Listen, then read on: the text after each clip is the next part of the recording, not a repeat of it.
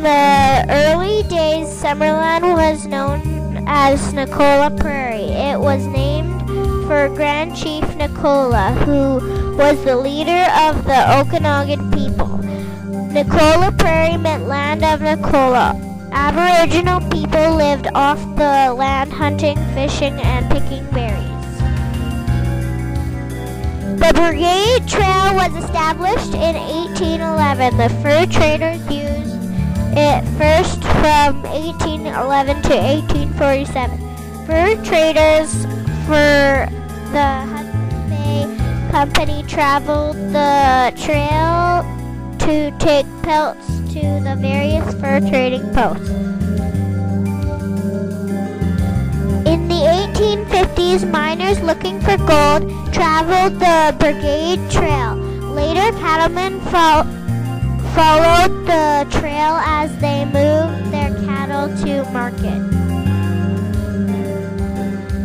The first Aboriginal family to reside the, in the area was the Pierre family of the Penticton Indian Band. Johnny and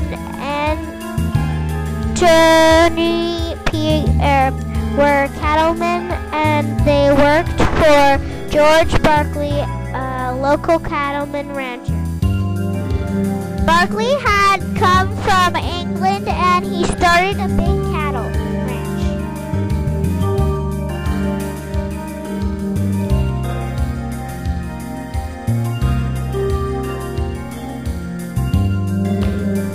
In 1892,